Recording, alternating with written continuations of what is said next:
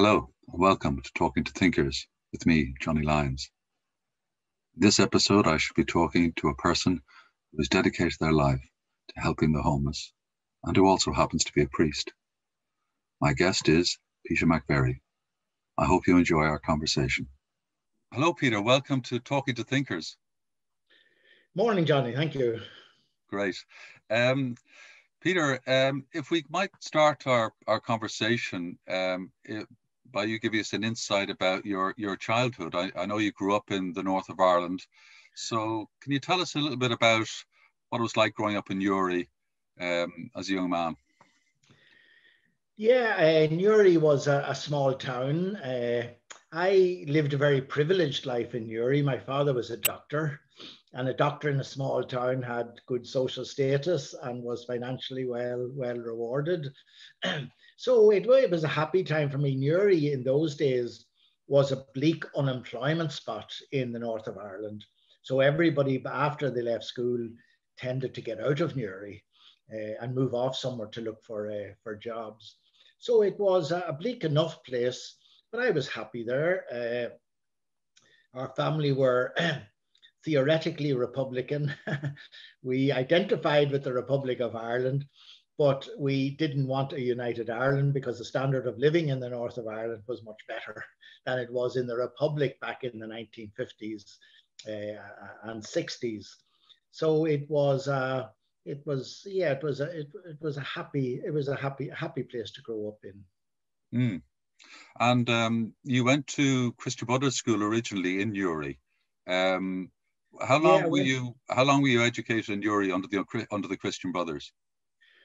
I was educated there from about five until twelve, so I was six or seven years with the Christian Brothers there.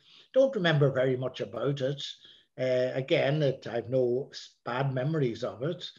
Uh, I just remember uh, the only thing you could be expelled from the school for was playing soccer. That was my memory of, of, of the Christian Brothers in Newry. Uh, so we played Gaelic and I enjoyed that. And yeah, it was, uh, yeah, it was, again, it was, it was a happy time. Yeah. Very good. I, I, am a Christian Brothers boy, but actually, I think our my school was probably the only Christian Brothers that allowed rugby for some reason. I never I never quite understood that. Uh, it was the great exception. Um, but then you, um, your parents, as you say, you were kind of middle class. Your father was uh, was a GP, so money wasn't an issue. No. Um, I imagine. But they, they then decided to send you to the very prestigious uh, Clongowes Wood School in the south of Ireland. Um, can you explain what, what why they did made that decision? Yeah, it was very simple because my father had been at Clongowes oh. uh, previously. My grandfather uh, ran a greengrocer's shop in Newry, and he wanted something better for his. He wanted his children to uh, to move up the social ladder. So he sent the children to uh, to Clongowes. Uh, they obviously had a good experience there because they decided to send me and my brothers uh, to Clongowes in turn. So it, it was a very simple, uh, it was a very simple reason, a very simple decision for him. Okay. So you arrive in Clongowes, what, in first year? You, you were there from first year till your leaving cert? Yeah, six years I spent in Clongowes, yeah. yeah. Okay. And like, so if we look at it from um, sports, academic, and mm. socially, how, how did you find the place? I enjoyed Clongowes. I think if you like sports and you like studying, uh, boarding school has a lot of advantages. You get plenty of both. Uh, so I enjoyed my six years there, I must say. But I know that some uh, pupils there were very unhappy. There was bullying going on. There was slagging going on, and some people, some young people there had a had a very very unhappy experience. But my experience was very positive. I enjoyed it. Uh, and it actually was a good preparation for the Jesuit noviceship, which I entered after leaving school because Jesuit noviceship had so many similarities to a boarding school that I was in the in the, the system, as it were, uh, prior to going to the uh, to the Jesuit noviceship, which made it easier for me in the noviceship than perhaps it was for others who are coming from uh, from home and from having been at a day school. Oh, okay. Um, I'm, I'm, did your when did your interest in joining the the, the the Jesuits start? Was there was it was it your final year? Or? No, I, I had right through the right through my second schooling, uh, second year schooling, second level schooling. I uh, had the thought of becoming a priest. Why? I think I put it down to the fact that my father, who was a doctor in a small town, initially he didn't have any partners or assistants. He was there in his practice with his patients. Uh, and I would remember the phone going in the middle of the night. Uh, my father would get up and he'd go out to see his uh, patients. There was no such thing as uh, having somebody to to take over nights and give him a break or to take over weekends and give him a break. He was there 24 7 for his patients. So I think I got a sense of service from my father. My mother was very religious. She was actually a Welsh Protestant and she uh, converted to Catholicism in order to marry my father, whom they met in a hospital in England. Because in those days, if a Catholic married a Protestant, they were destined to go to hell for all eternity. So, to avoid that fate, my mother became a Catholic, and like many converts, became more Catholic than the Catholics themselves. So, we had family rosary every night, no excuses to miss it. Mass, of course, every Sunday. So, I think I got a sense of faith from my mother, a sense of service from my father. So, when I was deciding what would I do with my life, I think I wanted it to be a a life of service to others within some sort of religious context. And becoming a priest back in the 1960s was a very respected and respectable way of doing that. Uh, so, and I joined the Jesuits simply because I was at a Jesuit school. Hmm. If I'd gone to Castleknock, I might have become a Vincentian, or if I'd stayed in the Christian Brothers in Newry, I might have become a Christian brother. The decision was simple. I knew the Jesuits, I knew what they did. And so when I decided I was going to try the priesthood, uh, joining the Jesuits was was an obvious uh, an obvious choice for me. And you know, just before we go into the your, your you as a novice, did you did you find school easy? Were you academically was it was it was it easy to you, or you were you a, an average student, or? Uh, no, I would have been considered a bright student. So I enjoyed studying. Uh, I enjoyed learning, and my results were, were pretty were pretty probably, I'd say above average. So studying was not a problem for me. I enjoyed sports. I played any sports that were coming my way. Uh, so as I say, sports and study are the uh, the, the lifeline of a, of a boarding school and if you enjoy those, uh, your chances of enjoying boarding school are very good. Okay. So what I'm what I'm trying to get at is you you had options. You, the priesthood wasn't just the, you, you, could have done anything then if you like. If, if you got a good leaving cert, yeah. you could have gone into another profession. Uh, was the, was was was was was that ever uh, appealing to you to do something else, or was it just had you focused on the priesthood and that you were fairly single-minded about that by the time you did your leaving cert? I was pretty single-minded about it. Now I had other options in the background just in case. Yeah. All my brothers uh, became doctors. My uncle was a doctor in Newry as well as my father. His three children became doctors, so medicine was was very much in the family. So I decided that whatever I would do, it wasn't going to be a doctor it would I thought of things like dentistry or other professions, and they were sort of a backup. But my mind was set on joining Jesuits and trying to see if this life was uh, it was what what I was called to do, basically. Uh, so it was very much single-minded right through school years. But if it didn't work out, I had other options. As I say, yeah, I could go to university, I could get a degree, I could I could join one of the professions. In those days, university was restricted uh, pretty well to those who had money. So it was easy to get in, and uh, your options once you left university were pretty good. So, yeah, I could have had a good career uh, if I hadn't joined the Jesuits. Okay. Actually, just uh, before we go into that, how many how many brothers uh, do you have sisters? Where do you fit in the family? I have two, I have two brothers. They both became doctors. Uh, they're both living in England. They're retired now. Uh, I have one sister who's living up in Newry still. Still see her uh, from time to time. and she's married there. She's brought up her children. Uh, they, her husband was a ran a car garage and petrol station in. Uh, so uh, yeah, that's my that was my uh, that was my family background. Okay. Uh, so you you do your leaving cert. You you joined the um, Society of Jesus mm-hmm. um, mm-hmm. as a novice. Can you give us an insight about what happens then? You know, you go, what what do you do all day as a novice? Well, your day, like boarding school, is very structured. You are told what you're doing every day, every hour of every day. So it was a mixture of religious uh, services. You had uh, meditation, you had mass, you had rosary, uh, plus uh, learning about the Jesuits, understanding the history of the Jesuits, understanding the constitutions of the Jesuits, understanding, you know, what you were letting yourself in for if you decided at the end of the novitiate to actually become a Jesuit.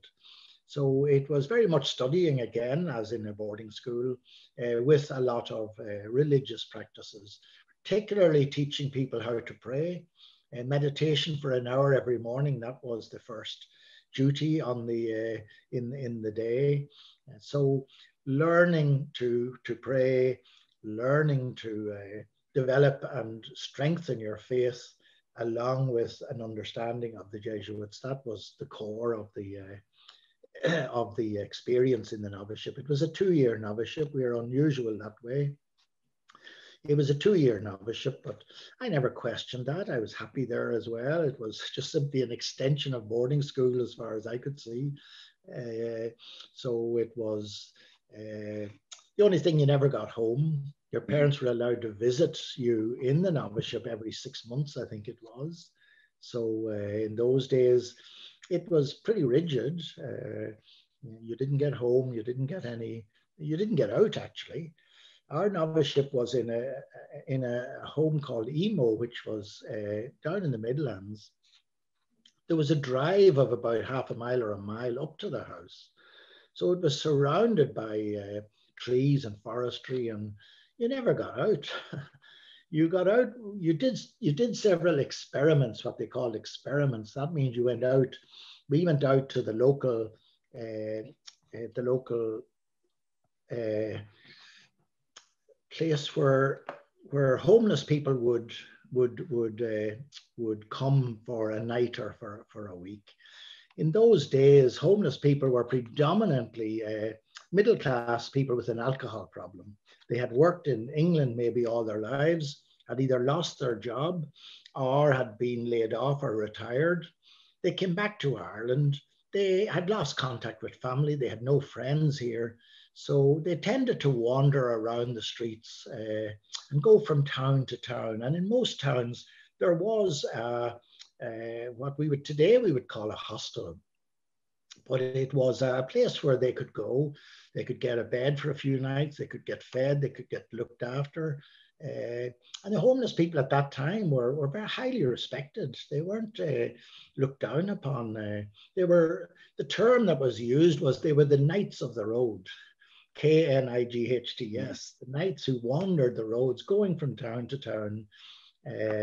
So we went there for for four or six weeks as part of our training as a novice. Uh, but that was the only time you were ever allowed out of the uh, the grounds of the novitiate. It was very very enclosed and very very uh, disciplined and very very structured. And you, in that kind of setting, um, are, is friendship very important with the other novices, or or were you are you quite a solitary person, or how important is friendship to you? Uh, well, I am quite a solitary person, but you did make friends. Clearly, you're living with people for two years. You do uh, you you do make friends. Uh, then those friendships can get broken because after the novitiate, you may be split up. You go to one house, somebody goes to another house. Uh, so it was hard to sustain long term friendships uh, in an organization where people are constantly moving around. But uh, yeah, no, it was uh, you did you did form friendships with the people uh, that you were uh, living with for two years. And uh, as you came to the end of that of your novitiate, did um, did you have a clear idea of how you wanted to be a Jesuit priest? Uh, yeah, at that time I did. It changed very, changed very much over the years. But at that time, I saw myself as a teacher, hmm. teaching. In, we had five five schools. Uh, there were a lot of Jesuits teaching in those schools, maybe 10 or 12 Jesuits at any one time teaching in one of those schools. Uh, and that was my experience of the Jesuits in Clongowes. They were people who were there, they were teachers. So when I joined the Jesuits, I, I suppose I expected that I was going to end up teaching in one of the Jesuit schools. And I chose to do science because there were very few Jesuits who were teaching science. It was uh, most Jesuits were doing sort of arts or uh, classical studies or uh, so I opted to do science. I was good at science in school, so it was a natural enough choice. So I opted to do science as with a view to uh, teaching science in uh, in a secondary school after I had uh, completed the studies with the with the Jesuits. Now that changed over mm. time. Uh, I did teach for two years. I taught in Belvedere College, which is a fee-paying school in the middle of the inner city, uh, for two years. And I enjoyed teaching. I enjoyed the actual communication of ideas and communication of information to students. But to be a teacher, you also have to be a circus trainer and you have to be a crowd controller and a whole lot of other things, which I didn't enjoy. I enjoyed imparting information and knowledge, but uh, I, I, don't think I was much good at, uh, at controlling, controlling classes. So that was my, uh, but actually that was a very important two years for me because at the back of Belvedere College, there was a block of flats called Hardwick Street Flats. And I knew somebody who was working in a youth club for the Hardwick Street Flats. And he invited me up one night to, uh, to the youth club. So I went up and I saw what was happening in the youth club. It was traditional youth club in those days with table tennis and billiards and uh, quizzes and all that sort of thing. So I enjoyed that. Uh, and I ended up working in the youth club maybe five or six nights a week. I was running football teams with the kids in Hardwick Street Flats. Uh, and I really enjoyed that. Uh, the kids in the Hardwick Street Flats were very different from the kids in Belvedere College. I mean, if you annoyed them, they just told you to F off.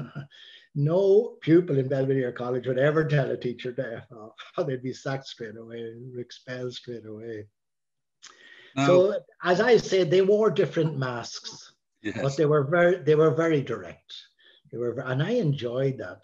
So later on, when the opportunity came to go to the inner city, I had enjoyed working in Hardwick Street Flats, eh, which is in the inner city, and so I volunteered to, uh, to to go and work and live in the inner city for a few years. Okay, that's the bit actually I'm not clear about your your your your kind of story really, uh, because you you okay you you talked about you were in the youth club, you were still teaching in uh, science in um, in the school there in in Belvedere.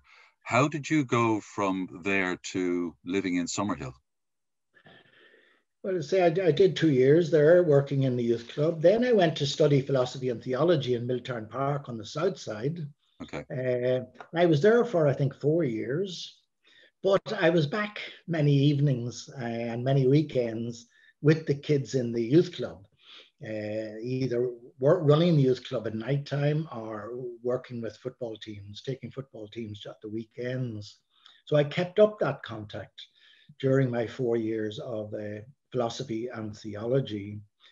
And then in 1972, wasn't it? Uh, 1974, um, the Jesuits decided we wanted to get involved in, we wanted to get more involved in justice issues. We were not associated, we were not uh, uh, considered to be very involved in justice issues. And justice was becoming uh, a major social issue uh, at that time. It was coming from Latin America, liberation theology was flourishing, and that was uh, was coming all across the, the Atlantic to, to Europe. And so we decided we wanted to get involved in some sort of justice issue. And the first thing to do was to go and live in a poor deprived area. So the Jesuits asked uh, the Dublin City Council for a flat in the inner city where we could go and live and work.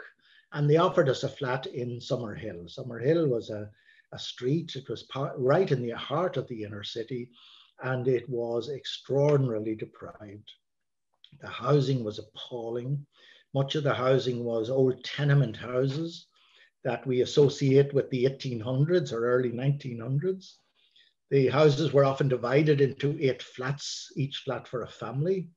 There was one outside toilet for the eight families. There was no soundproofing between flats. So the flat we were in, we could hear the news on the television in the flat below perfectly clearly. So uh, it was it was pretty awful. The unemployment was high.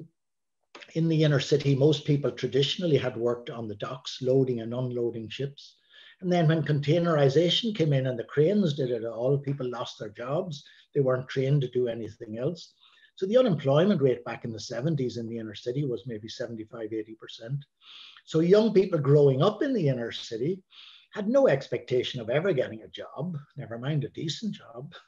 And so if you have no expectation of ever getting a job, what's the point in staying on in school?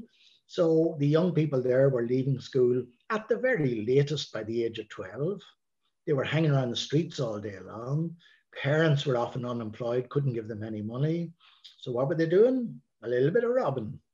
And by the time they got to 16 and 17, they were doing a lot of robbing and they were going to jail. So that was the area that we uh, moved into. We very quickly uh, discovered that was the key issue. It wasn't homelessness. Homelessness was a small problem at that time. The problem was these young people leaving school early and hanging around the streets. Uh, so we opened a youth club for the kids in the area called the Summerhill Youth Club.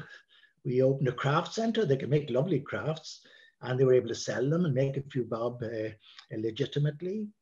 Uh, we were able to employ some of the young people making the crafts and we'd sell them to the shops in town to pay their wages. So that was how we began there. We, I did that for about three or four years uh, uh, because that was the, the issue at the time. Then I came across a nine-year-old kid sleeping on the street. Oh, yeah. So we decided, look, we had a youth club for the young people in the area. We had a craft center. We had employment schemes. Let's get a house and open a little hostel. So we did. We got a house. We opened a little hostel for boys up to the age of 16. Why boys? Because there were no girls on the streets hardly back in the 1970s. That only came later. And the hostel was for boys up to the age of 16 because uh, the health board at that time only had responsibility for children up to the age of 16. Uh, after 16, they were in no man's land. So we opened that hostel for, uh, for six boys up to the age of 16. I ran that for a couple of years. I thought no more of it. This was just like the youth club and the craft center was just another service for some of the young people in the area. But I ran that for a couple of years and then the young people were leaving that at 16, 16 and a half. And they were going back on the streets because there was nothing else for them. So at that time, then 1980, they had demolished the whole inner city because the housing was so awful. And they had demolished our flat. So Dublin City Council had to rehouse us. So uh, we opted to be rehoused in Ballymun. So I was living then in Ballymun. So I asked Dublin City Council for a flat in Ballymun to use as a hostel for the young people who were leaving at 16, 16 and a half. And to my surprise and to their regret ever since, they gave it to me. So we had a flat now. We could take the young people after when they left the uh, the first hostel. We could move them into the flat. The numbers grew and grew and grew and grew. Eventually, we had up to 15 young people sleeping in a three bedroom flat. One night I counted 19. I don't know where they all were. but uh, so the numbers grew. So we had to get another house and divide them up. Uh, and then the Childcare Act came in and we had to separate out the under 18s from the over 18s. So we had to get another house. And then the drug problem hit Dublin. And we had 14, 15 year olds coming to us injecting heroin. So we had to open a detox center. And then we had to open an aftercare drug free house for those who had finished the detox. So one thing just led to another. There was no big plan, there was no strategic uh, uh, plan or uh, there was we just we just went from year to year and I said look what's the need God we need to do something about this problem and so we opened another hostel or we opened a detox center or whatever it was. We just we just went from year to year. So from that uh, nine-year-old kid sleeping on the street, uh, who's still living with us, by the way, he has a lovely apartment from us. Uh, from that kid, we now, at the moment, have 25 hostels. We have a thousand homeless people every night staying with us. We have about 600 apartments where we can offer a homeless person the key of the door and say, This is yours for the rest of your life. You never ever have to be homeless again. We have four drug treatment centres uh, and we have a drop in centre. And that all happened, most of it by chance, uh, uh, from a nine year old kid. Now, about 15 years ago, the organization was getting too big for me. I didn't have the skills or the interest in running a big organization and in all the administration that that uh, involves. And anyway, I was getting old and uh, I was, everything revolved around me. So if I had died 15 years ago, the whole thing would have collapsed. So decided, right, we better make this as independent of me as possible so that it can continue into the future. So we employed a CEO, a terrific person, uh, who has managed to expand this organization enormously and does all the, uh, the administration and uh, financial recording it does it all absolutely perfectly. So we were very lucky to get him. Uh, he brought in an administration team then. Uh, you know, things have got so bureaucratic. We have to have financial accounting. we have to have a human resources team. Uh, we have to be compliant with the charities regulator. We have to be compliant with the Companies Act. There's a huge amount of administration now involved in, in the organization. I'm glad I have nothing, nothing to do with that anymore. So my role for the last uh, maybe 10 years or more uh, is working directly with homeless people. I just meet homeless people, they come to me, I go to them, uh, help them discuss, uh, advise, maybe try and help them with any issues they may have. So my role now is direct face-to-face contact with homeless people. That's what I really want to do. That's what I've always wanted to do. Uh, so it's been very, uh, I've been very lucky, yeah. Wow that that was um, a whistle top tour of of the last 35 years and uh, it's a fascinating story uh, peter and, and one that uh, is so inspiring um, but if we can rewind a bit now and, and, take that a bit slower because i'm interested in this in the story of how you how you got into this um, which that story touches on but doesn't go deeply into it so uh, because uh, one of the big questions I have um, about you is why you got into this and why you stuck with it. Because a lot of people don't do that. Most people don't. And um, and you mentioned there, you know, your your first kind of contact with kids that were underprivileged was in the was in the youth center while you were teaching in, in Belvedere, and it, that gave you a, a very different picture of very different types of kids uh, as you say, talk very much more directly to you and told you to F off if they felt like it. And, and you weren't going to get that from the kids in, in uh, Belvedere College. So that it was a, a lot of people would have been shocked by that and would have just walked away and said, those kids are so and so's. I'm not bothering with that. You didn't do that. You actually found this um, a gripping world that you wanted to be part of how do you explain that? How do you explain the fact that you did that? Because a lot of priests, Jesuit priests, don't do that. And they're probably happy you're doing that work. And they, they're probably happy they're doing their work, which is probably, you know, probably more comfortable. I'm not in any way diminishing what they do, but you're really at the coalface in, in poverty. So how do you explain how you did that rather than and not rather not doing it? Uh, I don't know actually. I just enjoy doing it. Uh, you build relationships, as I say again, in the youth club, and particularly when you're running football teams, you build very close relationships with the uh, with the young people on the on the football teams. Uh, so I, I, enjoyed that. I enjoyed working with young people. I enjoyed teaching in Belvedere College. I, so I enjoyed working with young people, and it just sort of came naturally to me to, uh, to, to, to, to continue doing that. And as I say, after I left Belvedere and went to study philosophy and theology, I kept going back to the youth club Uh, it just, uh, I don't know what it was. I just, uh, I enjoyed it. I think anybody who does get involved in work like that, um, after a while, it becomes, uh, they become committed to it. Uh, you couldn't but be committed to it. Here were kids who had very little opportunity in life.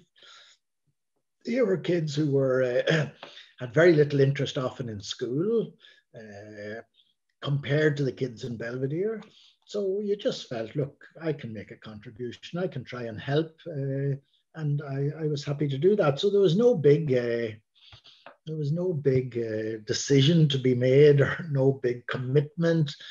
I just went from week to week and month to month and year to year, and it it evolved. Now people would say, I would say it was providential. I would say God was leading me in that direction and to the work that I'm doing now. Other people would say, well, it's just uh, it was just coincidences uh, that uh, brought you to to where I am now. Okay, that's interesting because um, so did your faith in God get strengthened or, or change uh, significantly as a result of getting more into uh, working with the homeless? Yeah, my faith changed very much so. Uh, suppose when I was in the noviceship and in the early years in the Jesuits, I was pretty pious sort of young fella. Uh, you know, it was religious observances were important, religious services were very important, uh, and they dominated. Uh, they were central to to my faith. When I went, particularly to the inner city to to live and to work. I began to question all that. Um, first of all, I saw just how I grew up in a very comfortable home, financially secure, had a good education. And then I started encountering young people whose lives were totally different. Uh, I thought Ireland was a wonderful place to grow up in and to work in and to live. And when I encountered the young people, particularly in the inner city, I came to realize that for some people, Ireland is a lousy place to live in and to grow up in uh, and to be unemployed in. So began to question uh, what I uh, began to question society and what society was doing. And I came to see how divided society is, how some people thrive and automatically simply go on to live live financially uh, secure lives, while other people are just, it's impossible for them. So I began to question Irish society, and then I began to question my faith uh, in the sense that uh, these young people, uh, it wasn't so much bringing God to these young people, but it was bringing them to a sense of their own value many young people in that area feel undervalued. They feel they're, they're considered to be of little or no value. They are uh, excluded, they're marginalized, and that affects your self worth, your sense of your own self worth. So, so our job was to give these young people a sense of their own value. Uh, and a sense of their own lovableness because if you don't have much self worth, you don't have much self love. Uh, you don't feel you're really of any of, of any uh, particular. You don't feel that you have that you are worthy of of being loved by other people, and that was their experience. Experience living in a marginalized community, experience of uh, of of having all the doors to a to a future closed in your face. Uh, so it was about bringing young people to a sense of their own value and their own lovableness. And as I always said, you know, you can't believe in a God who loves you unless you first of all love yourself. And if you don't love yourself and you feel that nobody loves you and nobody cares about you, nobody gives a damn about you, how can you possibly come to believe in a God who loves you?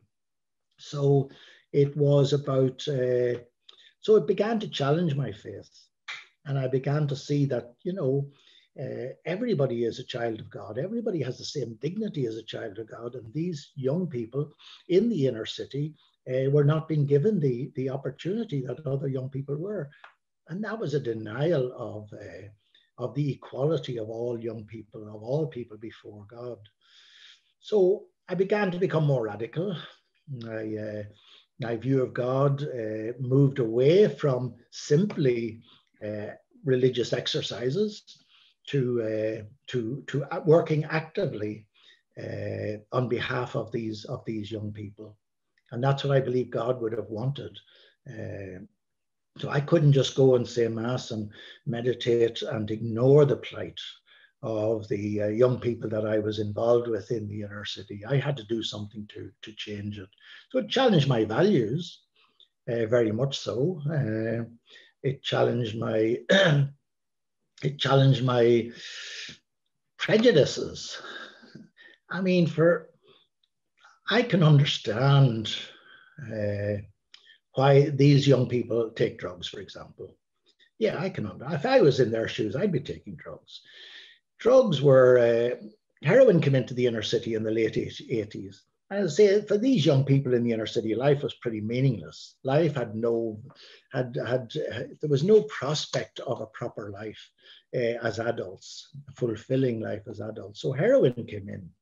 Heroin, using heroin, which was the first drug we came across, uh, using heroin was a way of escaping from the reality of life a way of escaping from the miserable existence that many young people uh, had to put up with in the inner city.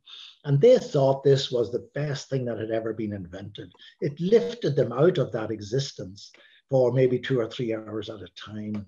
Now, at that time, nobody knew how addictive heroin was, and nobody knew the health consequences like HIV, AIDS, or, uh, or hepatitis C. Uh, so it was just a wonderful escape route uh, out, of, out of life uh, for, for them. So, and most homeless people now who do take drugs, but they're in a minority. Most homeless people don't take drugs, but the ones who do take drugs are using it generally to escape, to escape from something. Very often to escape from traumas in their childhood, maybe sexual abuse in childhood, or violence, or extreme neglect, uh, they're using it because they cannot cope with those experiences and those memories. Uh, and so they use a drug to lift them out of it uh, for as long as the, the drug has, has, its, has its effect. Uh, so I came to understand why young people take drugs. I came not to judge young people, because I always say if I had grown up in their circumstances, I'd be taking drugs. I would be exactly the same as them. So they challenged some of my prejudices uh, that these were bad young people uh, who were only interested in pleasure and, and using drugs uh, to, to get enjoyment. It challenged those prejudices for me. And I came to realize that for, for, for them, using drugs was a very serious uh, uh, and the only a very serious issue and the only way they could cope uh, with, uh, with, with their, their memories. So I came to, uh, yeah, they, they, it challenged me in so many ways. And I came to be grateful. I, I look back at my life and I realize just how lucky I have been. Growing up in a good family, good education, good health, good opportunities in life, I realized just how lucky I have been. And so, listening to homeless people, I really came to realize that everything I have been given as I say, good family, good health, good opportunities, and so forth. Everything I had been given was given to me as a free gift. I didn't do anything to earn it. I didn't do anything to deserve it. I didn't choose to be born into the family that I was born into. It was just handed to me as a free gift. And once I realized that everything I have been given has been given to me as a free gift, I can't judge anybody because uh, when I judge somebody, what I'm actually saying is, I'm a better person than you are. But once I realize everything I have been given as free gifts, I can't say I'm a better person than anybody else. All I can say is I've got nicer gifts than some other people have got. Maybe I've got more gifts or better gifts than other people have got. That's all I can say. I can't judge anybody.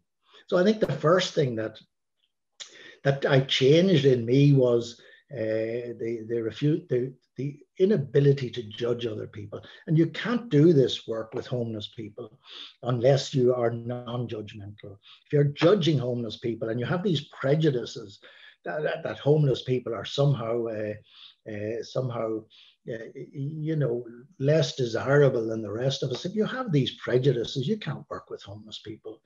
So the first thing that had to happen was to become non-judgmental, and it, the only way of doing that was through direct contact uh, with these young people, and uh, you know discovering how wonderful they are actually. Uh, society doesn't see that. Society just sees some of them robbing and some of them taking drugs and some of them going to jail.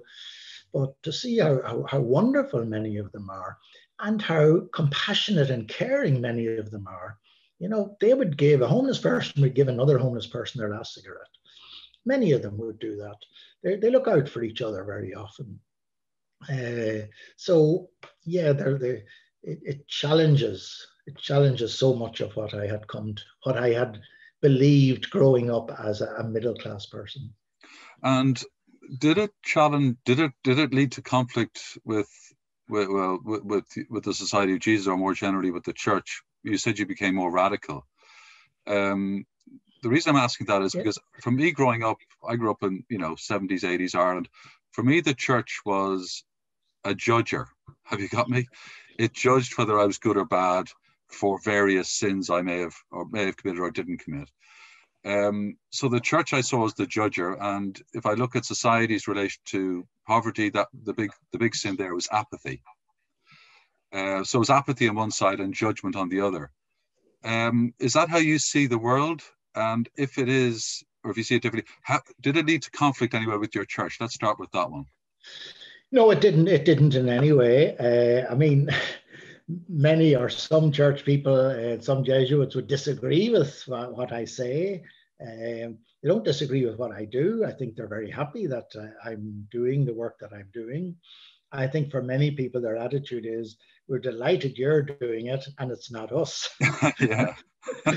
but no, I've never been in conflict with the uh, with the with the church or with the uh, the Jesuits. In fact, uh, the Archbishop of Dublin will send us a small donation every Christmas. Uh, Jesuit superiors wouldn't have left me in this in this role if they were unhappy with uh, with what I was doing. So no, there was never any conflict, uh, but it did. Yeah, it did challenge that sense that the church as a judge it, the church as laying down laws. That was what I grew up with. The church had laid down all these laws, and your relationship with God depended on how you observed those laws. Mm. And if you observed them, you would be rewarded with a place in heaven. And if you didn't observe them, you may be condemned to a hell for all eternity. That's the uh, so it was all about obeying laws. And now I totally reject that that concept of God uh, it's not about it. I've met these kids. These kids, some of them, some of them, only some of them, they're taking drugs, they're robbing, they're going to jail, uh, but they're wonderful kids. They're wonderful kids. Uh, so the for me, it wasn't about it wasn't about observing laws. It was about making this world a better place for everyone. Uh, and that's what the church's role should be. Uh, I mean, I've said it uh, several times. I mean, if I was a bishop in a diocese, the first thing I would do is ensure that no traveler was living on the side of the road in my diocese. And I would move heaven and earth with the local authorities and everybody else and engaging the, uh, the, the, community to accept the fact that no traveller should be living on the side of the road. And the second thing I do would be to ensure that there was a domestic refuge for any women who were fleeing from domestic violence, because many of them flee domestic violence but are forced to return home because there's nowhere for them to, to go. So for me, those sort of issues became what God is interested in not whether I'm obeying laws or whether I have uh, bad thoughts in my head or not. Uh, that's what God is interested in, making this world a better place for, for, for everyone. And so that changed my whole reading of the gospel. I read the gospel as it was Jesus was giving, laying down the rules by which we ought to live. And as I say, if we obeyed those rules, all was good. If we didn't, uh, all was bad. Now I read the Gospels as Jesus telling the early Christian community how they are to live in order to be the kingdom of God on earth. Uh, and so the early Christian community, it was a community of radical equality. It was a community where everybody shared. It was a community which reached out and uh, tried to meet the needs of everybody within that community. Nobody was to be marginalized. Nobody was to be treated as second class citizens. Nobody's needs were to be left un, uh, uh, un, unmet. It was a community of radical inclusiveness and radical solidarity. And for me, that's what Jesus was about building that community in his time. And we, the Christian community, we are the continuation of that community. So our role as Christians is to build that radical solidarity. There should be nobody in poverty. There should be no uh, uh, nobody going to bed hungry at night. Nobody going, no child going to school hungry in the morning. There should be nobody homeless. Uh, it's building that community, a radical community where everybody rallies around to make sure that everybody's needs are met. So, as I, uh, you know, I always say that, you know, the gospel is good news. What is the good news that Jesus came to bring to the poor? That's what it says. Good news to the poor. We often leave out the words to the poor. The gospel is good news, but it's good news to the poor. And what is that good news? What's the good news of the gospel that I have to bring to homeless people? The good news I would like to bring, but I can't yet, is to be able to say to homeless people, look, I have good news for you. Your homelessness is over. There is a community, it's called the Christian community. They follow the teachings of Jesus. And they're going to include you in their community. And they're going to share their resources and everything else to ensure that you will no longer be homeless. Uh, that's the good news that I ought to be able to bring to homeless people, but I can't because I think we as Christian communities we have uh, failed. We have failed uh, the gospel. We have failed Jesus. Uh, we have compromised. We have uh, we have interpreted uh, what Jesus was about to suit our own comfort zones.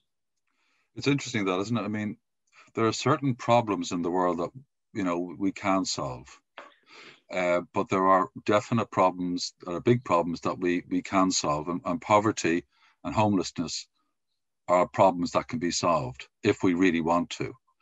Um, there's, you know, there's money that could be apportioned to this. It's, you know, it has a cost and it could be dealt with. Um, but it's not just think, money; it's a mindset. And the mindset, but the mindset, the mindset creates that at whatever cost, commits to doing this at whatever cost. That's yes. the mindset that we have to change. And of course, the church's job is changing mindsets. uh, so, yeah. And then, of course, there is money involved, but we, we've loads of money. Uh, I mean, yeah. but it's uh, it's so unevenly distributed. Something that strikes me about your story uh, Peter, is you know, and we, we go back to this. You know, you were in you were in Belvedere, you were teaching probably mainly middle class children. It was a fee paying school, and yet you go to this youth hostel, and that seems to me to be a kind of a turning point. And it just strikes me that if if and it changed your life because now you saw a whole new community that you were getting a lot of pleasure from working with uh, it was giving you an insight into lives that you hadn't seen before. And yet, most people, we all live in bubbles. There's a middle class bubble, and there's a working class bubble, and there's a homelessness bubble. And they very rarely come into touch.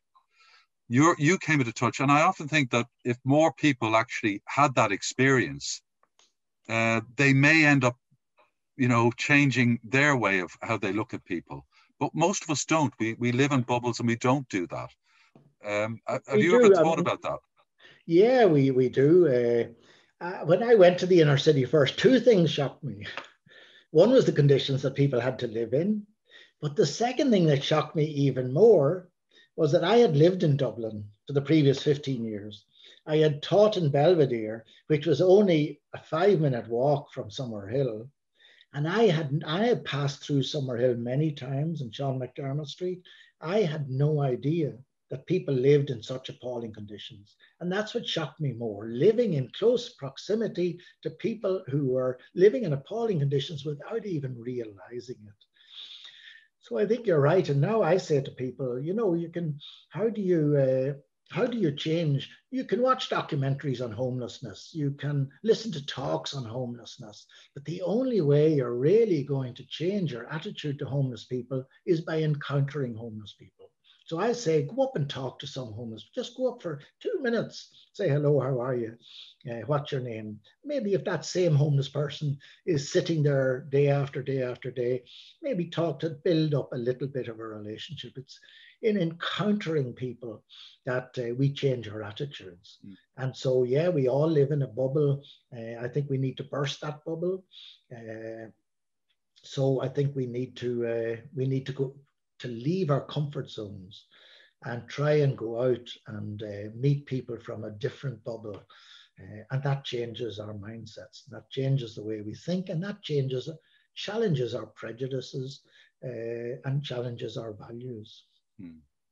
Um, another thing I thought that was very interesting you mentioned there, you know, you, you say when when you you know when you started off uh, getting into and helping homeless people and working with them and you you said that you know they were kind of came from loveless backgrounds and the most important thing was to make the, help them make feel them feel valued as a person uh, which might have been the first time that that had happened. And one of the ways you you certainly don't do that is ramming down the 10 commandments and judging them. Um, so how how did you go about showing these people? How do you go about showing these people that they are lovable and how do they react to that? I mean, how does that dynamic work? Yeah, well, first of all, they, they, uh, we, deal, we deal primarily with a subset of homeless people who are in that situation that you have described. But the majority of homeless people aren't. The majority of okay. homeless people came from good homes. They have lost their private rented accommodation because the landlord says they're selling their home the house or because the rent has gone to a level they can't afford. So the majority of homeless people today don't have that uh, don't have that issue. The majority of homeless people today have only got one issue: they don't have enough money to be able to go out and get alternative accommodation once they lose their uh, the accommodation that they're in. So we're dealing with a particular subset, and they are a subset who have come from very disadvantaged backgrounds, uh, have experienced a lot of trauma in childhood, and who find it very difficult to believe that they, they are lovable. As one young man said to me, he said, Peter, he said, why do you bother with the likes of us? Now you can hear the zero self-esteem in that question. Uh, so, how do you come to bring young people to believe that they're lovable? Wasting your time talking to them about it. You got to show them love. You got to show them that they're lovable by the way in which you relate to them, by the way in which you treat them, by the way in which you listen to them, uh, by the way in which you respect them. You can only show people you can only show you can only bring people to believe they're lovable if they're experiencing love. Uh, i mean that's what happens to normal children growing up in normal homes. They experience the love of their mother and they come to believe that they are of value. Uh, so we have to replace what these young people lost in childhood by showing them that uh, that they are lovable. And that doesn't that doesn't that doesn't exclude challenging them mm. and challenging their behavior. But as the thin line that you have to walk is to you can you can uh, challenge and re, uh, you can challenge their behavior and you can condemn their behavior without condemning the person and that's a thin line that most of us find very difficult to uh, to uh, to walk so yes, young person goes out and robs. I'll tell them, look, uh, you know, you're hurting somebody else. You're putting yourself at risk of going to jail. Maybe you shouldn't do that. But I'm not communicating that I'm rejecting him. I'm rejecting what that person is doing, but not rejecting the person. And it's that distinction, I think, that uh, you have to try and, and, and communicate. Uh, and we had a great social worker who uh, used to say, you know, you'll you'll get you'll change people, young people far more by praising them for what they do than by condemning them for what they do. Mm. So whenever a young person, young homeless person, whenever they do something good, you know, to, to sh- really shower them with praise and to say that was wonderful and, and that was terrific, uh, that, that changes people far more than giving out to them mm. uh, for the wrongs that they're doing. Yeah, I mean, it's it's it's it's to me you you live such a self-evidently good life, um, and I've seen other people that live self-evidently good lives, but you also seem so happy. uh, you seem like a happy person, uh, upbeat, which is you're a great demonstration of you can you can be a good person, also be a happy person. Whereas a lot of time people think, oh well, I'll be one or the other. You know, it's kind of a, a dichotomy. Uh, is it? Am I? Is it true that you are happy? Are you? Do you wake up happy most days, or or do you find um, life tough? I'm I'm the happiest person in the world. no, I'm I'm very happy. I I feel that what I'm doing is very valuable. It makes a difference to other people's lives. I feel I'm helping other people to uh, to to live a more fulfilling life, and I am certainly in doing that. I find myself being fulfilled. So I've often said I get more. I've got more from homeless people than I've given to them they have changed me in so many ways. They have challenged me. They've opened my eyes to, to, to uh, what's going on in Irish society. They've opened my eyes to uh, a false understanding of what the church is about. Opened my eyes to reading the gospel in a different way. Uh, I have received so much from homeless people, uh, and I'm very grateful to them for that. So yeah, I, am very happy. I, I, you know, when you see a homeless person and you give them the keys of an apartment and uh, you tell them now walk in there. This is yours for the rest of your life. Mm. and you see the expression on their face and the smile on their face and the disbelief on their face that this is for them. That's the most wonderful uh, experience you can really have. Uh, so yeah i have found my life very fulfilling uh, if I was starting off again, I would do exactly the same. I wouldn't want to change, wouldn't want to change anything. Hmm. So yeah, I'm very happy. The um and being a priest um obviously makes what you do on one level possible. You know, um, for starters, about about poverty and. Mm-hmm. Um, do you think being a priest has helped you be effective or or, or you know, do you prefer people calling you Peter, or do you like them calling you Father, Father, Father Peter? Well, they call me Peter. Most people, yeah, or worse. uh,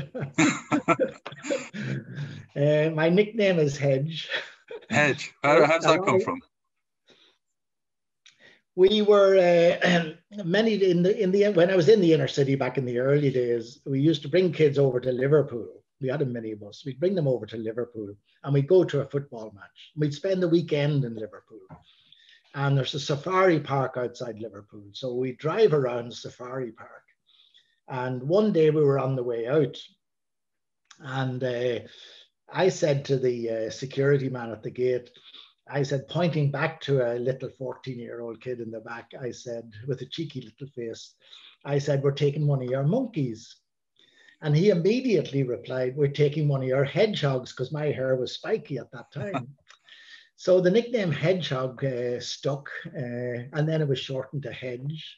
So that's how that came about. And it became, I mean, I would get phone calls from people saying, uh, Can you give me the address of the hedges? so, uh, so you'd Peter. Be, you'd be a victim of Dublin wit then.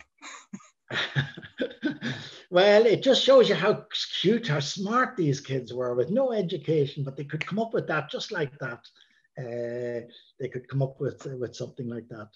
So, uh, what was what was I saying? Uh, yeah, I, I, being a priest helped. It helped in the initial days, and it still helped. But initially, uh, back in the 1970s, uh, being a priest meant you were trusted Hmm. So here was three, three of us Jesuits. We were living in this very deprived area. Uh, and the first thing the kids thought of was were we three Gardaí trying to get information on what's going on in the area. But once they realized we were priests, we were trusted. Social workers have to earn their trust. Priests in those days didn't have to, now they do, of course, after all the abuse and that. But mm. in those days, priests were trusted. You could lose that trust very quickly, but you started off with that trust. And so it, uh, it certainly, it did make a difference, yes. Um, and today it does make a difference. Uh, a lot of uh, a lot of homeless people ask me to baptize their children or occasionally ask me to marry them. And certainly I do a lot of funerals. Uh, I, I, think that's important and it's important for the, the life of homeless people as well, that they can call on me to, uh, to do those uh, to, to do those services. But my day-to-day life is unlike perhaps uh, most priests. Uh, I'm uh, directly involved in, uh, in, in meeting and talking to and listening to homeless people. The um, do I, I, I very rarely see you with a collar on. Is that deliberate, or do you find it easier to work without a collar? Uh, one, I don't like a collar. yeah. But two, a collar locks you into a label. It locks you into a uh, into a role. And as I always say, I want to be known as Peter McVerry, who is a priest, hmm. rather than a priest who happens to be Peter McVerry. So, yeah, I don't want to be locked into a role, and that, that role today is certainly very negative. Hmm. So, it would be it would not not help me in my relationship with people with homeless people if I were going around wearing wearing a collar. So I choose not to wear a collar. Hmm. Yeah, I do wear a collar at times, obviously for for funerals uh, and things like that. I do wear a collar. Uh, if I go to bless a child or a house or something like that, I will wear a collar. But uh, the vast majority of the time, I, I, I won't. Hmm uh, uh, you know, one of the things that um, you know you would have thought, especially in the old days, when you said you know a priest had a certain could had a certain license, uh, could walk into areas, and the trust was there.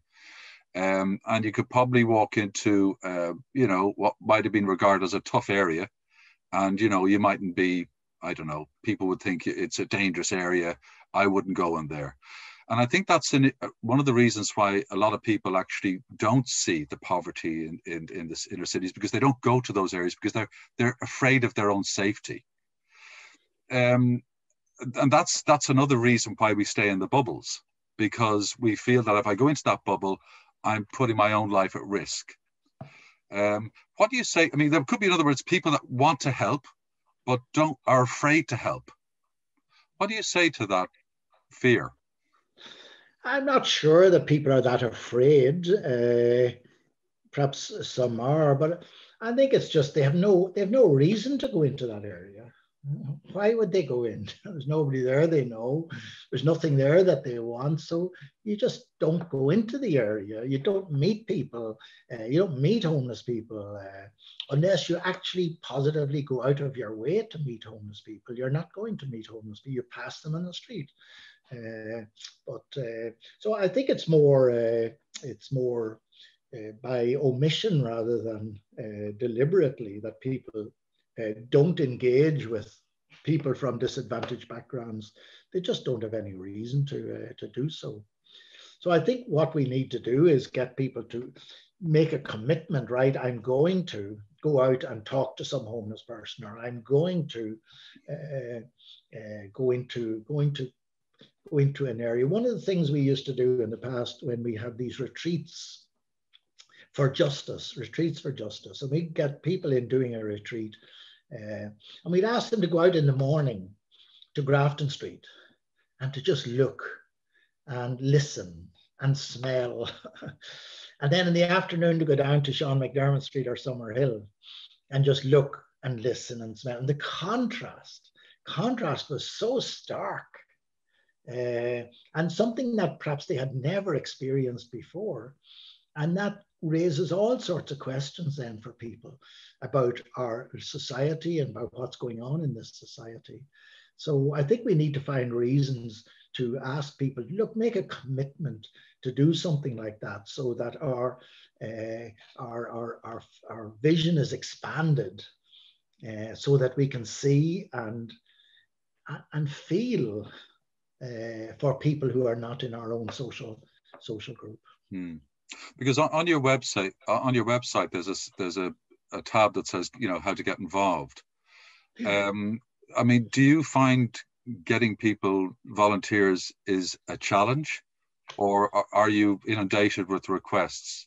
Because I think a lot of people do feel they'd like to help, but they don't know how to help. Yeah.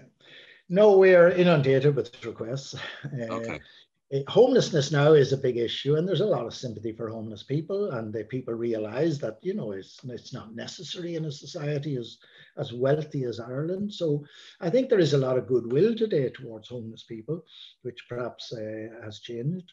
Uh, so people do want to get involved, uh, but obviously taking on volunteers does require a certain commitment from our own staff. You have to manage volunteers, you have to ensure that they're doing something useful, that they're having a good experience. Uh, uh, you, do have to work with, you can't just take a volunteer and say, they're going to that hostel and work there. Hmm. No, you've got to work with them to ensure that their experience they're getting is, is, is, is a good one. Yeah, we do get a lot of volunteers. What we also get is uh, we have transition year students, and they spend a week or so in our drop in center. And what they're doing there is mostly just listening to homeless people and hearing the stories of homeless people. It has an extraordinary effect on them. Some of them have described it as a life changing experience. Uh, others, many will say it's the most productive week of their uh, of their transition year.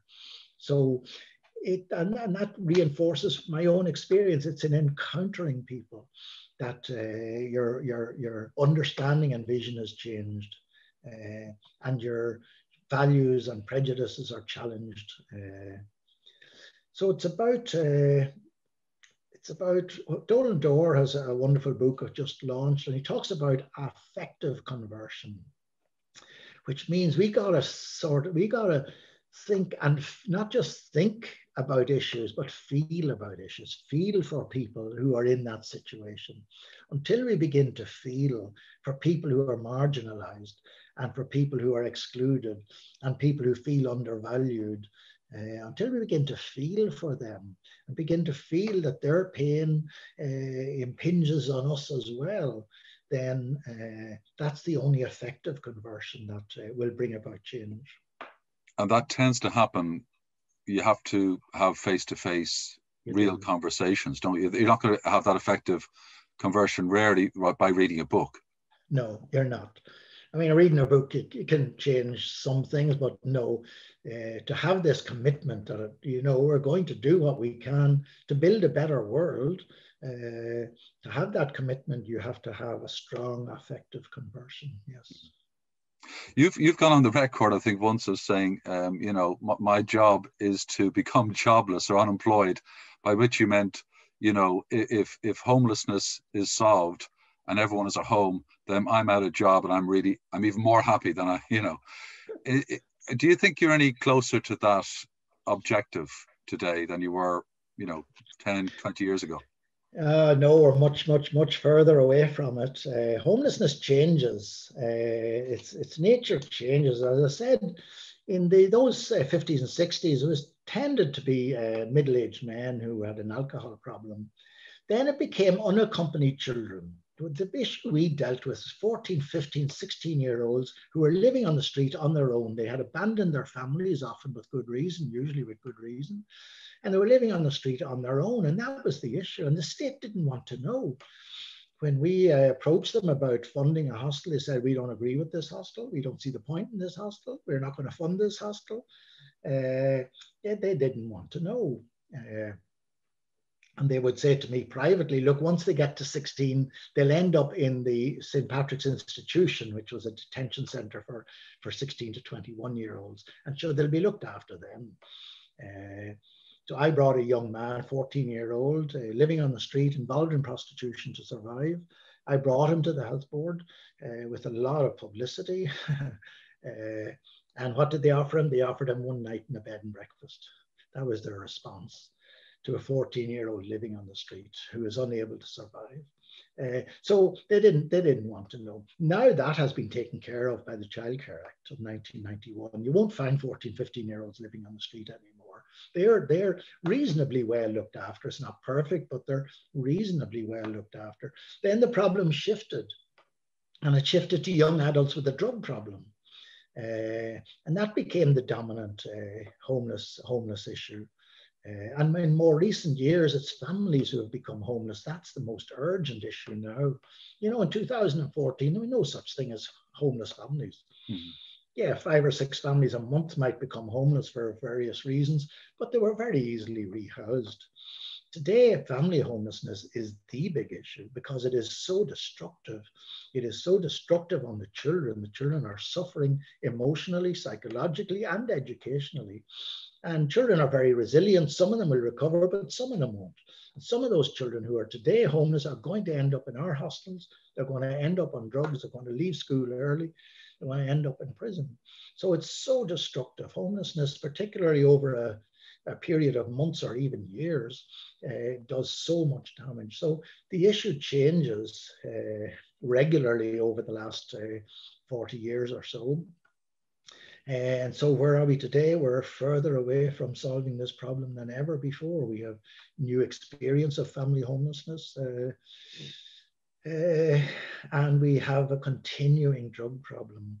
And the drug problem's got far worse. I mean, gosh, uh, you, you know, today, today we would, today I would love if we only had a heroin problem. Hmm. But we have crack cocaine. Heroin puts you to sleep. Somebody who's on heroin is going to be no trouble to anybody else. They're just going to fall asleep. They mightn't wake up, they might overdose, but they're going to be no trouble to anybody else. Today we have drugs like crack cocaine, which can make people very aggressive and very violent. You have tablets, extraordinarily difficult uh, to, to deal with because you can't just stop taking tablets uh, or you go into fits. Uh, you have the new drug like uh, liquid ecstasy or G, which is extraordinarily dangerous. I mean, a drop or two more of liquid ecstasy and you're dead. Uh, drop or two more than you're used to and you're dead. And you can't stop taking it or you're dead because you have to stop taking it under medical supervision. So the drugs have become far more extensive uh, and far more difficult to deal with and far more difficult to address. Uh, that and, and, that's just going to continue. It's going to continue. I see no end to this uh, to this to this drug uh, to this drug uh, issue. It's uh, it's affecting it's affecting not just people who use drugs it's affecting their families. People are running up debts they're getting assaulted. Their family home is being smashed up because they owe money to drug dealers. Uh, it, it's it's ravaging communities. Uh, so the and that issue is you know and the drug treatment services what are available are excellent by and large, but there's so few of them available. There's many parts of the country, there's no drug treatment available. And even in parts where there are, there can be long waiting lists, three month waiting lists. Interestingly, during the pandemic, when the pandemic first hit, the three month waiting list was suddenly reduced to three days. now, if we could do that when the pandemic hits, why couldn't we have done that before the hmm. pandemic hits? And why can't we do it after the pandemic is over? we need to have drug treatment services available for people who want to. Everybody, every single drug user I've ever worked with comes to a point in their life where they want to give up drugs. They realize that the fun of taking drugs has disappeared and that these drugs now are destroying their lives and they want to give them up. And when they get to that point, you have about a six or eight win- week window of helping them to get into treatment. And if they go on a three or four month waiting list, you lose that window and they begin to get demoralized, they begin to get despondent, uh, they begin to get depressed and feel they're never going to give it up. We need to rapidly expand drug treatment uh, uh, services in this country. I've always said that, you know, the, the drugs is a far more uh, is a far greater threat to the security and stability of Irish society than the IRA ever were. These drugs are in every community, even in villages, and they are uh, destroying uh, family life and they're destroying community life. But unfortunately, that's happening mostly in poorer communities. And so people who are living in better off communities don't see it, they don't read about it, they don't hear it. Because if you owe money to a drug dealer and they're coming and smashing your windows every second night, you don't go to the guards because you're afraid things will get worse. You don't go to the media because you're afraid things will get worse. So a lot of this is going on on an invisible uh, level that people are not aware of. But the drugs are destroying the fabric of this society. And, and, Peter, you know, when you paint that picture, which is, um, you know, pretty bleak, and um, and like an organization like yours in that kind of context looks like you know you're like Canute against the waves. It's just it's, it's relentless, and now you're suggesting it's it's kind of got worse rather than better from a drug point of view. What you can carry on being like Canute, but are you trying to make representations to the government or to agencies, and are you getting any any reaction or response? Uh, well, we do make representations to governments, uh, yes. Uh, what's the response? Depends, actually. It depends very much on the minister who's in charge.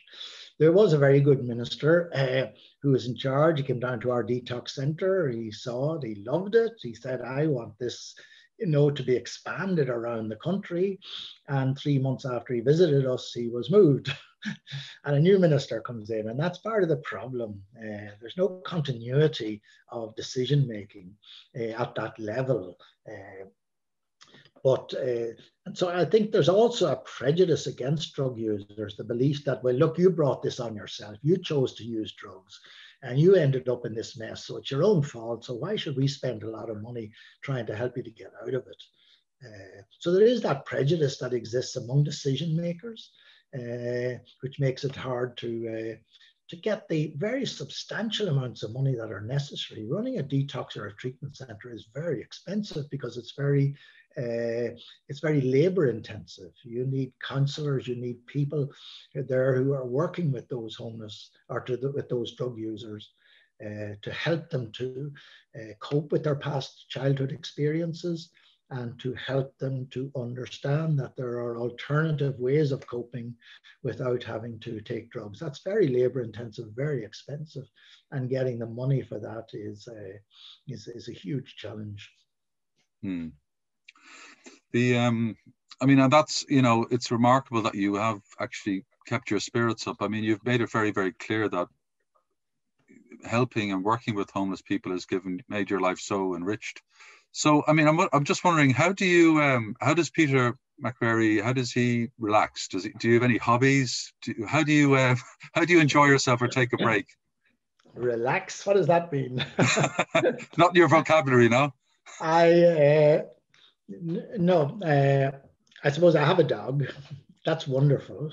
Uh, everybody should have a dog, but it means that you have to look after the dog. You have to you know, when everything is getting on top of you, the dog just looks up at you and says, I want to walk.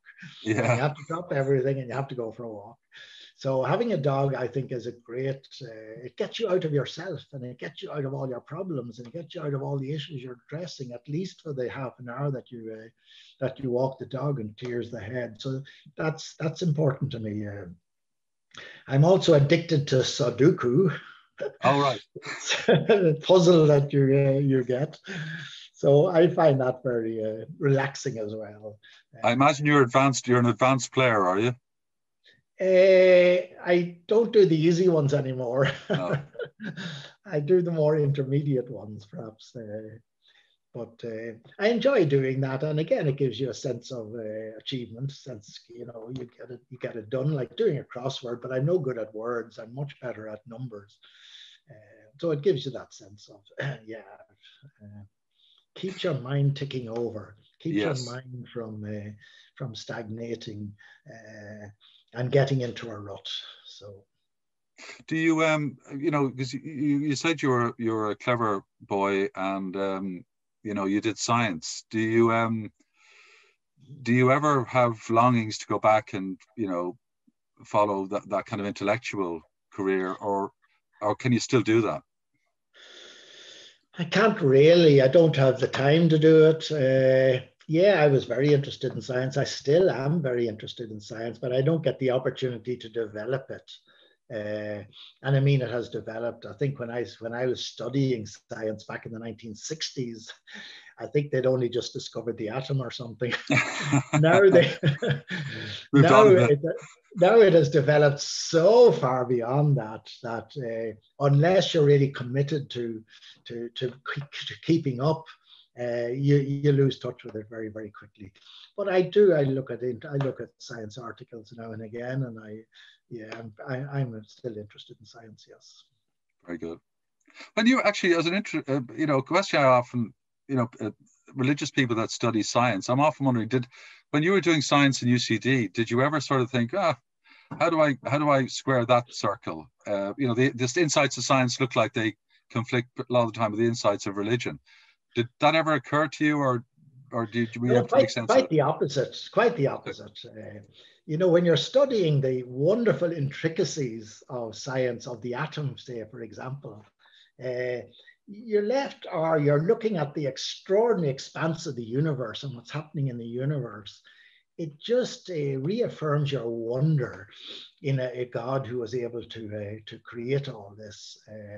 Uh, so no, it, it it gave me that sense of uh, wonder, a sense of awe at at, at, at God, uh, who was able to to, to, produce all this. So no, it didn't conflict in any way. Uh, and the whole evolution thing, I, I just think uh, it, it reinforces my belief in God that, you know, the, again, I mentioned Donal Dorr's book before, but in the Donal Dorr's book, he talks about God as the mystery. And I think maybe we need to get away from using the word God because the word God means so many things to so many different people. For some, it means the judgmental God. For others, it means a God who created the universe and has gone off and left it to its own devices. So, a very impersonal God. It means different things to different people. Uh, and Donal Dorr says maybe we should say, I believe in the mystery. The mystery. Because we all can identify with that. Every child understands they live within a mystery when they ask their mother, Mommy, where did I come from? And every adult who says, you know, what's the meaning of my life? They understand they're living within a mystery. So for me, I think we should begin the creed with I believe in the mystery, the mystery within which we all uh, within which we all live, and that mystery. When I look at my own life, that mystery is extremely personal because it has led me on a very personal journey. Uh, so it's extremely personal and it's extremely loving because I have been given so much in life. I've been so blessed. Uh, so it's it's a mystery that is personal and loving. We can put the name God on it, but uh, as I say, we we often we use the word God to to escape from the challenges uh, of life. Uh, so, yeah, I, I believe in the mystery. And well, studying uh, science re- reaffirms that. It just reconfirms confirms you in your belief that we live within a mystery. Very good. Um, well, it's it's really been a real joy talking to you, Peter, and I'm I'm really you've been one of my heroes pretty much for most of my life, um, and uh, watching what you've done through your life is is so exemplary, and uh, you do it with such modesty. Um, you, never look for praise, and yet so many people think you're wonderful. Um, but the way I'd like to end these uh, conversations is I kind of do it in a kind of um, desert island disc. So I kind of ask my guests if uh, if they did find themselves on a desert island, and now they can only pick uh, one book, uh, one piece of music, and one luxury. Um, could you share with us what you what you bring on that island? Well, I relax sometimes in the car. I, I, my preference is for listening to classical music, to Beethoven, Mozart, and so forth. Uh, so I I find that extremely relaxing. Uh, and extremely interesting. You know, it, it, you can enter into the music, you can enter into what the music is expressing. So I would probably bring uh, bring one of those, a book. I should say you have the Bible and you have Shakespeare, so take that as read. Why Shakespeare? Well, you can. Have, oh, you can have Yeats. we'll make an Irish version, or James Joyce, uh, whatever you like. what would I bring? There are a few books that have made uh, a difference in my life. Uh, one, I was for a period, I was very uh, involved in Teilhard de Chardin. He was a Jesuit archaeologist, but also a mystic. Uh, so, and he wrote some terrific books. Uh, uh, one is the, the Le, Le Milieu Divin, the Divine Milieu, uh, which had a big influence on me in the early days. Another uh, author that made a big influence on me was Tony DeMello, again an Indian Jesuit mystic, uh, and he produced a series of books which are absolutely wonderful and very stimulating. They consist of tiny short stories, maybe only 20 lines, but each story has just got so much in it to reflect on and to, uh, uh, to, to challenge you. So I'd probably bring uh, those two uh, those two authors with me. Yeah, yeah. And your luxury, or, or, or are you going to forsake that? luxury, I don't know what. Uh, your dog? Uh, oh, definitely, the dog will have to come. That's absolutely certain. But luxury, no, I don't have much in there. I remember in the early days when I went to Summerhill. I mean, I had some things that I valued and that I uh, was attached to, but I lost them all because they all got robbed. so uh, I've learned to live with very little. I am very happy having very little. Uh, I don't need very little. I, I don't need very much. Uh, so luxury, just uh, no. As long as I have enough food to, to keep me going, don't even need too much of that. Uh, uh, enough of the basics you know, one of the things Tony DeMello would say that, uh, you know, our happiness consists in having everything you want. Now, you might think that's stupid. That's clearly not the case because millionaires can be very unhappy, but it's actually true. The problem is that the more we want, the more we have, the more we want. And so we're always constantly wanting more. And so we're always constantly unhappy. But uh, happiness, happiness, uh, unhappiness consists in the gap between what I have and what I want. And we're always, that gap is always there and often gets bigger no matter how much we have. But supposing what I, uh, what I want and what I need are the same thing. Suppose we reduce our wants. When we reduce our wants to what is absolutely essential, then we can be happy because what we have is what we want. Uh, and I think that's my philosophy. I don't want very much. I'm very happy with what I have. As long as I have the basics, I'm very happy. Uh, and I, I, basically don't want anything else. Very good. Well, there's a lesson in that. Now, I, am also, I think you're the first guest that has ever not taken a luxury. There's something in that. there's, there's a wisdom in that. So um, Peter, thank you very much again for uh, participating on this on my series. It's it's been a real honor, and I wish you all the very best in the future, both for yourself as, as a person and as a priest, and also with the McVerry Trust, which has done such what make, changed so many people's lives for the better and continues to do so.